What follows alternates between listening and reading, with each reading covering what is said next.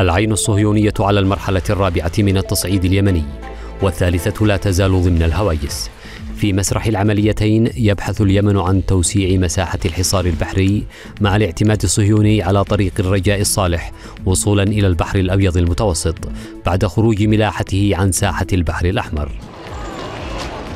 تؤكد هذه الحقيقة شركة ميرسك. وهي من أكبر شركات الشحن في العالم وقد نالت نصيبها من النيران اليمنية على اعتبار ارتباطها بالعدو الإسرائيلي.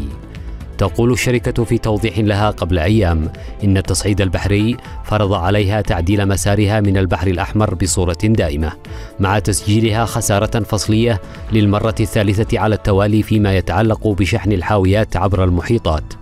ولذلك يقول الرئيس التنفيذي للشركة إن ميرسك تسعى لتعويض التكاليف الكبيرة عبر العملاء ما يعني ارتفاعا في كلف الشحن وحكما ارتفاع أسعار المواد المستوردة سواء في الكيان الإسرائيلي أو الدول التي تعتمد على سفن الشركة. ومع تدشين مرحلة التصعيد الرابعة تحظر التساؤلات عن أسباب انتقال اليمن من مرحلة إلى أخرى ولماذا تصنف في خانة الإنجازات؟ وأين موقع التحالف الغربي بقيادة واشنطن من هذه المراحل؟ الانتقال من مرحلة إلى أخرى يرتبط اولا بتحقيق أهداف المرحلة السابقة ثم بسلوك العدو الإسرائيلي في قطاع غزة. فاليمن صنع انتصارا تاريخيا بفرض حظر كامل على السفن الإسرائيلية التي تعبر البحر الأحمر ثم السفن المتجهة إلى الموانئ الصهيونية. وقد تسبب الحظر بتعطيل ميناء أم الرشراش ليتحقق الإنجاز رغم المحاولات الأمريكية البريطانية الأوروبية لتعطيله عبر تحالفات بحرية ثم عدوان عسكري على اليمن.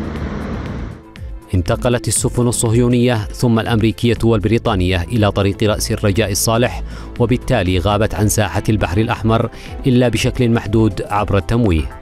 الأمريكي هذا التراجع الكبير في حركته يعني بنسبة 80% أليس هو الذي انخفضت حركته؟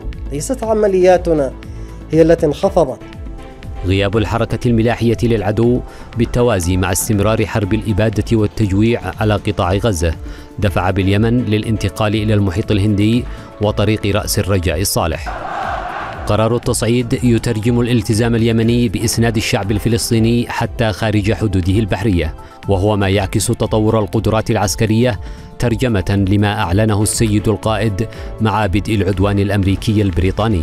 ولذلك نحن نؤكد للعالم أجمع أن العدوان الأمريكي البريطاني سيسهم أكثر وأكثر كلما استمر في تطوير قدراتنا العسكرية بشكل أفضل الانتقال إلى المرحلة الرابعة. يرتبط بتطوير القدرات اليمنية ثم بقرار توسيع الحصار على الكيان الإسرائيلي مع تواصل العدوان على غزة والتهديد بعملية عسكرية في رفح. والأيام المقبلة كفيلة بترجمة هذه المرحلة مع التحضير لمروحة أوسع وأكثر فاعلية من الخيارات المساندة لغزة.